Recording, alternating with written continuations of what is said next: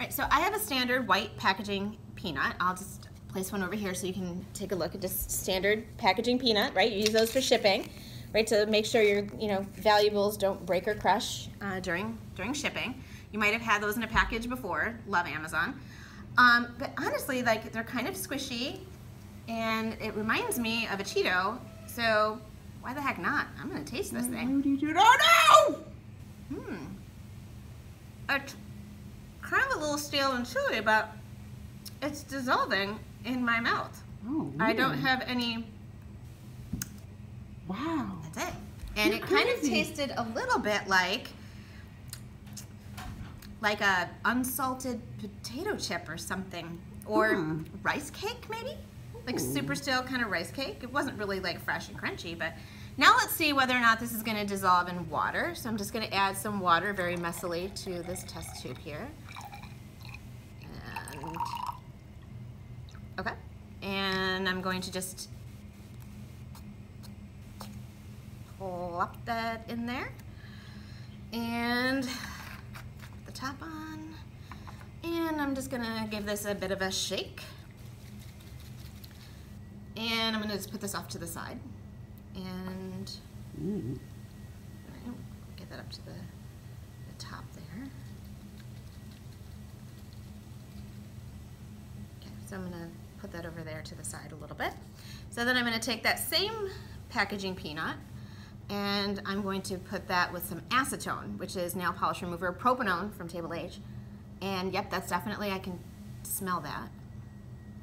So not the same solvent as water, so I'll just throw that in there. And pop that in there. And put the top on. Accident. And I'm just gonna give this a shake.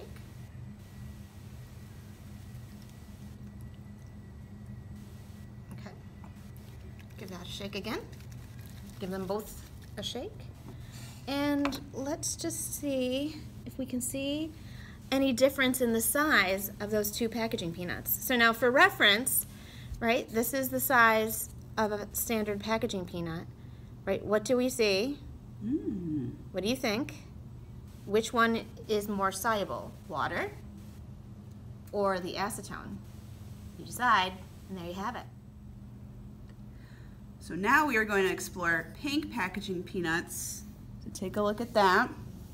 It's got a different shape, different crunch to it. So we're going to see how it fares with, we have our acetone here and we have our water here. So I'm just going to put some of these in my test tube. Get in there. And I'm going to pour some acetone in and then I'll Wait, what? I didn't even have to put the top on. Hold on. How many can you get in there? Oh, jeez. I am limited only by the space. I'll shake this in. Ooh, wow. It is,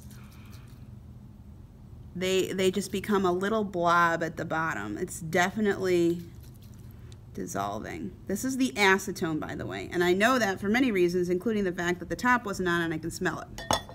Okay, so now we're going to see how it reacts with water. So let's once again put some pieces in here, see what's going to happen. This is just tap water. It's cold. I don't have hot water in this room. So here's some water. Ooh, okay. Whoops.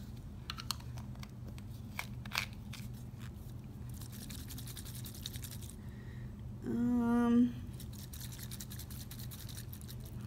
doesn't really seem to be doing anything. Okay, so acetone, water, reacts with pink packaging peanuts.